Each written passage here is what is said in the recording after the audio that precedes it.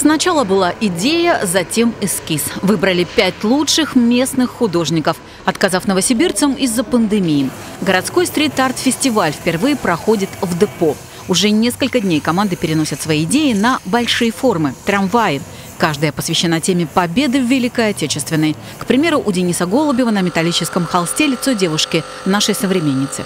Она достаточно ярко выполнена, она достаточно юна, и тем самым своим спокойствием она говорит спасибо. Спасибо за то, что я сейчас могу наслаждаться своей жизнью, за то, что в моей жизни наконец какой-то там покой появился.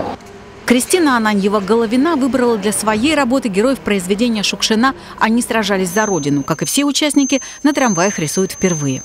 Когда начали, я понимала, что я буду делать это одними средствами выразительности. То есть я взяла там краскопульты, то есть такие вот вещи.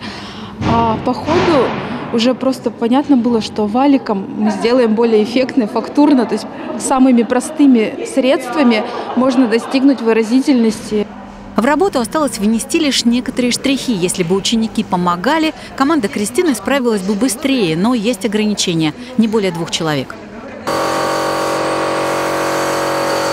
Для этих ребят сделали исключение, но лишь на полчаса. Третий участник команды Степан не просто помощник, но и прототип образа мальчика на металлическом холсте. Этот вагон точно не останется незамеченным на своем седьмом маршруте. И дело не только в ярких красках. Трамвай стал музыкальным воплощением известной песни «День Победы». Пока мы в процессе рисовали, подходили люди с музыкальным образованием, и глядя на ноты, они вот что-то, что-то начинали, как сказать, в воздухе проигрывать. Определить победителя фестиваля членам жюри, куда помимо профессионалов войдут и рядовые горожане, будет непросто. Но сделать это придется уже в ближайшее время. А затем полотна выйдут на маршруты.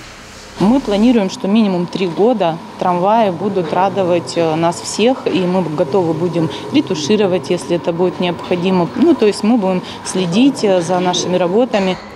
Кстати, у организаторов фестиваля планы амбициозные. Они хотят, чтобы разукрашенных трамваев в городе стало больше. И победный стрит-арт – это только начало. Ведь у художников еще масса оригинальных идей, впрочем, и электротранспорта в крае еще предостаточно.